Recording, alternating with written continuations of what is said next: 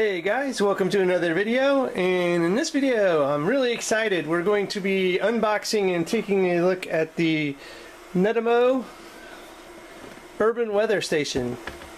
And this is just pretty much going to be just a quick unboxing. Uh, stay tuned, I'm going to set this all up. Uh, I may actually include some of that setup uh, footage in this video, or I just may do it on another video.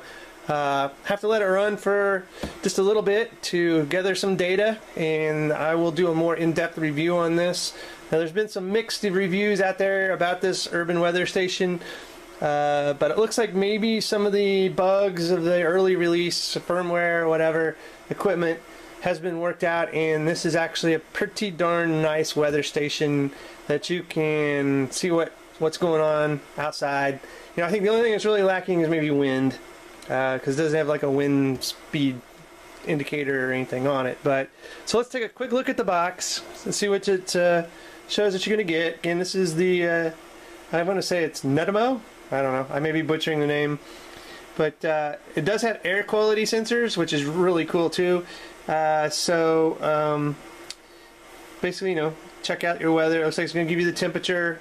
I'm going to flip it over and actually see here weather, air quality, CO2, weather and environment, real-time monitoring, indoor, outdoor.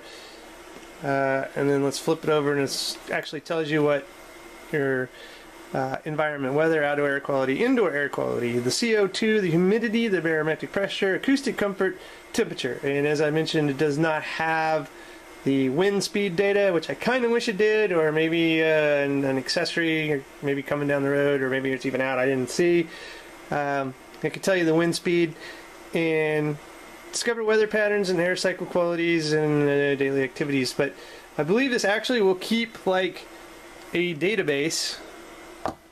So you could actually go back for your location and see some climate data, you know, like high temperature, low temperature, a certain year, whatever,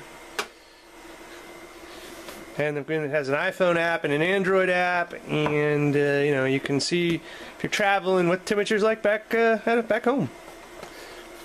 All right, so let's unbox this puppy, and so you can see right out of the box we have a nice uh, aluminum-looking sensor here. I don't know if this is the indoor or outdoor, but uh, there is one of the sensors. This one I'm going to gather is probably the outdoor one since it's bigger. It's probably got a lot more sensors in it. Um, so there's a, I'm going to go with maybe the outdoor one.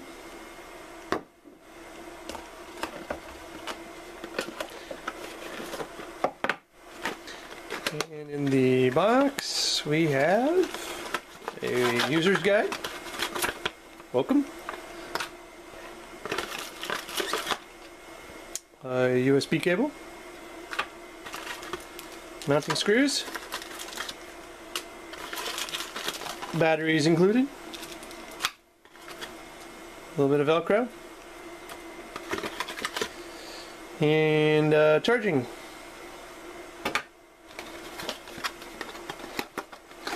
And I think that's it. That is. Put that back. So, that is what you get in the box. And again, I am going to set this up and we will do a review of it and we will see exactly how accurate this is to the best that we can of their abilities. Um, and then, uh, you know, do, do a little thorough review of the data that it's providing and um, how you can take that data and manipulate it into your own little data bank of weather information and analysis and weather forecasting and stuff like that. Uh, taking a quick look at the um, instruction guide here. Not a, not big on words. It's all pictures.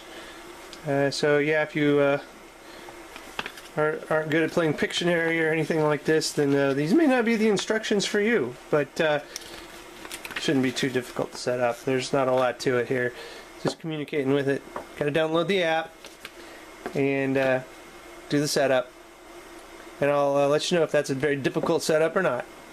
So anyway guys, I'm going to close this video out at this point. Um, if you don't see any other footage attached, then this is going to be included in a separate video where I'm actually going to do the setup, uh, go over the app, go over the data it's producing, and go from there.